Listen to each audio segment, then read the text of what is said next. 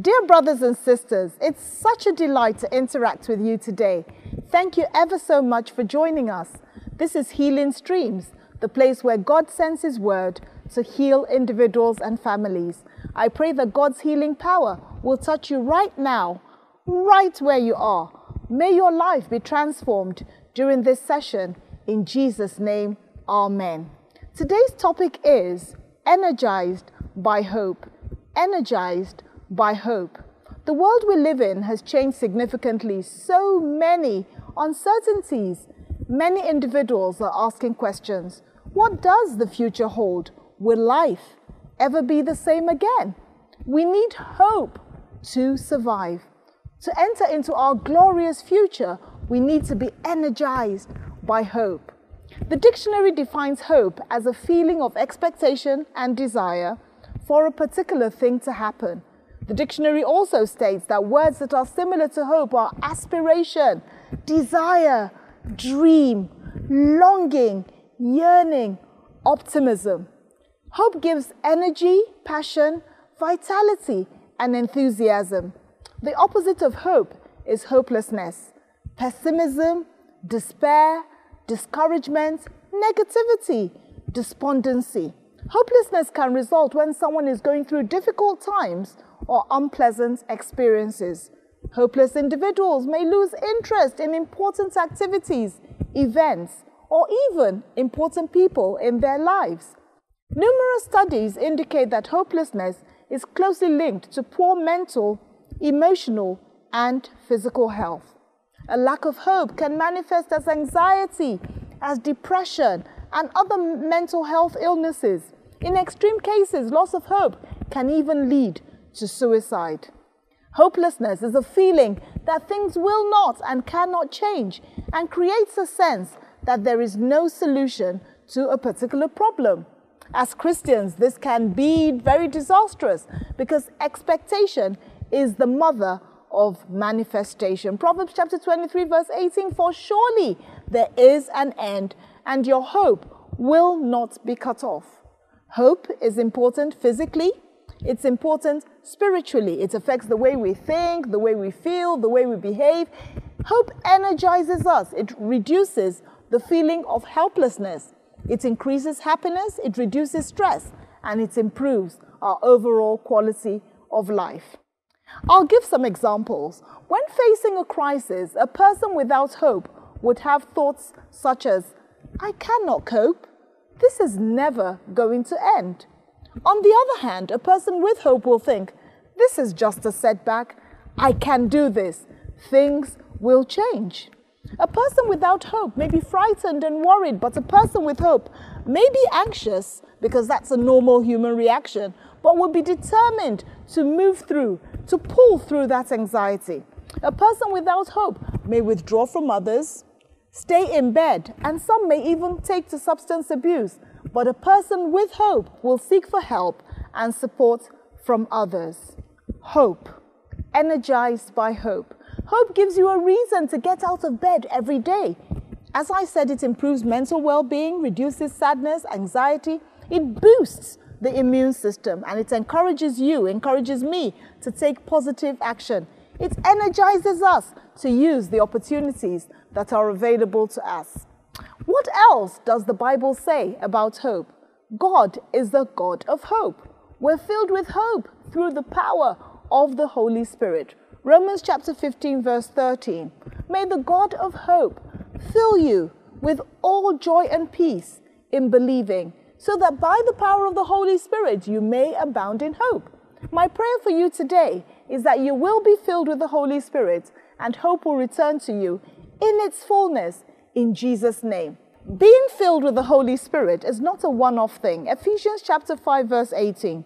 But do not be drunk with wine, in which is dissipation, but be filled with the Holy Spirit. Another version says, keep on being filled with the Holy Spirit.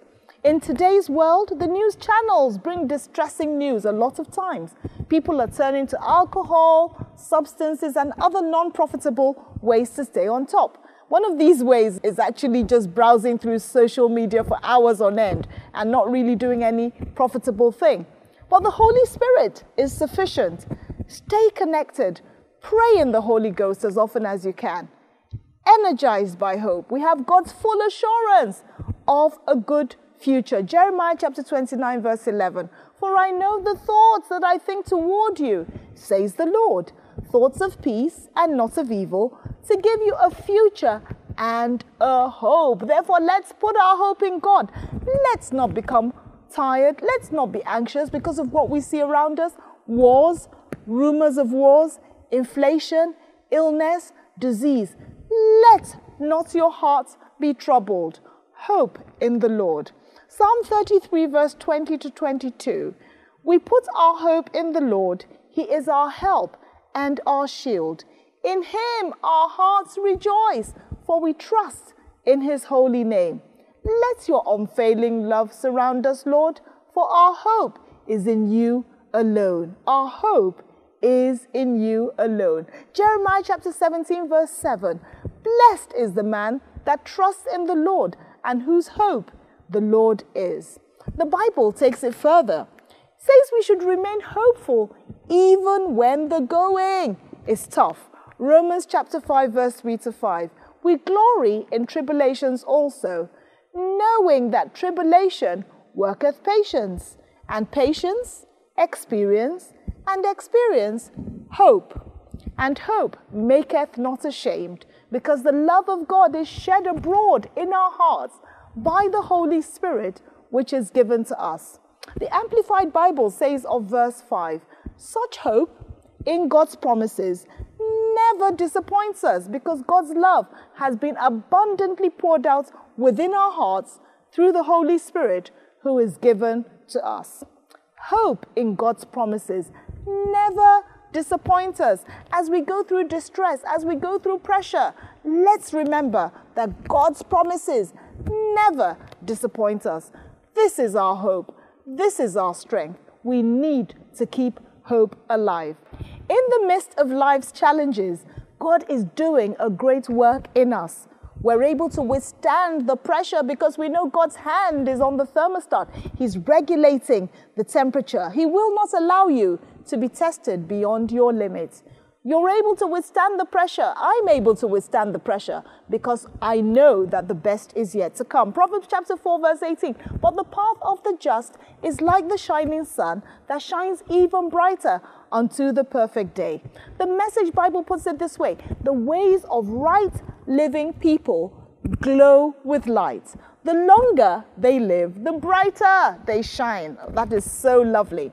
Your future will get progressively brighter and better if you stay with the Lord, if you stick with the Lord. We must enforce Proverbs chapter 4, verse 18 in our lives. This is God's plan for us, but we have an adversary who is constantly trying to make God's word of non effect, trying to make God's word null and void. We must enforce it through prayer, through expectation, and through hope. May the Lord grant us the grace to stand on His word and enforce it in our lives. In Jesus' name, Amen. May God grant us the grace to do His word in Romans chapter 12, verse 12. Rejoicing in hope, patience in tribulation, continuing instant in prayer. Based on the unfailing word of God, I can give you these assurances. The best is yet to come regardless of where you are now or whatever disappointments or setbacks you've faced in the past, the best is yet to come. This is the word of the Lord. Your future will get progressively brighter if you stick with the Lord. But what if age is not on my side? I hear you ask. Age cannot invalidate God's word. But what about my family circumstances? What about my career circumstances, my business circumstances? I have good news for you. God is not limited by your circumstances. What is impossible with man is possible with God. The best is yet to come. And this song fills me with hope. It's titled, Your Latter Will Be Greater. Part of it says, Your latter will be greater than your past, and you will be blessed more than you could ask. Despite all that has been done, the best is yet to come. That line jumps out at me, and you will be blessed more than you could ask. This is in line with God's word in Ephesians chapter 3 verse 20 and 21. Now to him who is able to do exceedingly abundantly above all that we can ask or think. To him be glory in the church and in Christ Jesus throughout all generations, forever and ever. Amen. The best is yet to come. So today I urge you keep hoping, keep trusting, keep believing, keep hoping, because hope maketh not ashamed. Your hope in God's promises will not be disappointed. Your expectation will not be cut off. Energized by hope. Hope is important because faith and hope interact closely. Hebrews chapter 11, verse 1. Now, faith is the substance of things hoped for, the evidence of things not seen. Faith is the substance of things hoped for. Without faith, we know that it's impossible to please God because God is a rewarder of those who diligently seek Him. But when we're hopeless, it drains our energy and it affects our diligent seeking of God. So, how do we keep hope alive? Number one, trust in the Lord. Proverbs chapter 3, verse 5 and 6. Trust in the Lord with all your heart and lean not on your own understanding. In all your ways, acknowledge Him, and He shall direct your paths. How do we keep hope alive? Number two, believe God's word. Be expectant. Despite setbacks and disappointments, remember the best is yet to come. Your best is yet to come. Number three, start to do what you can with what you have.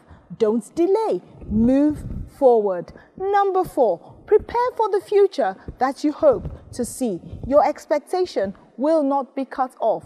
Expectation, remember, I said, is the mother of manifestation.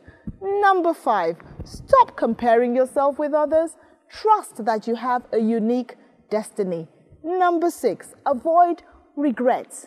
Let your trips down memory lane be profitable and not full of regret and anguish. Almighty God, the possessor of heaven and earth, the one with surplus supplies, the one who owns a cattle on a thousand hills, is saying that your future is glorious. Hope in Him. There are other actions that we can take to inspire hope. We can go for counseling. Healthy eating can also lift our mood because we know that junk food causes sugar fluctuations and that can make individuals feel despondent. Exercise, interestingly, can actually fill a person with hope. Aim for 30 minutes five times a week. Staying connected with others, that's a big one. Hope is built when we stay connected because we're naturally human beings who love to connect one with the other. Another good thing that you can do to increase your levels of hope is to help somebody who is in need. Another thing, lastly, is to get a new skill. Keep your mind active and instill hope for the future. Energized by hope, the most important hope we can have is hope of eternity. To be sure that after life here on earth, we will enjoy life with God the Father in heaven. If you would love that, please pray this prayer with me. The prayer is visible on the screen. Almighty God, I confess that I have done things my own way. Going forward, I choose to do things your way. I accept your Son, Jesus Christ, as my Savior and as my Lord. If you said that prayer, congratulations, you have joined or rejoined the family of God. Or maybe you have just reaffirmed that you belong to God. If you just joined God's family, you can continue your Christian journey by joining a Bible believing church. Please send a text message to the number on your screen 0708 225 6051 stating, I gave my life to Christ. If you're outside Nigeria, the number is plus 234 708 225 6051. We would like to help you navigate the next steps. I would like all of us to take these prayer points together. The prayer points are visible on your screen. Prayer point number one Lord, let hope and passion fill my heart. Dispel every hopelessness, fear, and negativity. Dispel every hopelessness, fear, and negativity. Prayer point number two Oh Lord, remove from my life anything that is keeping me from my best. O oh Lord, remove from my life anything and everything that is keeping me from my best. Prayer point number three. O oh Lord, from today onwards, let my future be brighter. Let my future be better. O oh Lord, from today onwards, let my future be brighter and better. Prayer point number four are your personal prayer requests. I would like to agree with you concerning these requests. Please lift up your prayer points to the God of hope who desires to give you his best. In Jesus' name we pray. Amen. I pray for all those listening to me right now that your prayers will become testimonies in Jesus' name. Thank you so much for praying along with me. May hope fill your heart like never before. May Almighty God open up new opportunities and new territories for you. You will break forth on the right hand and you will break forth on the left. May you reach new levels of attainment and enjoy a glorious future. In Jesus' name we pray. Amen. Amen. Please join me next Saturday at 8 a.m. West African time for the next edition of Healing Streams. Please like this video and share it today. Bless someone. Don't forget to subscribe to this channel and may the healing streams of peace, joy, mercy, and love flow towards you and your families. In Jesus' name, Amen. Shalom.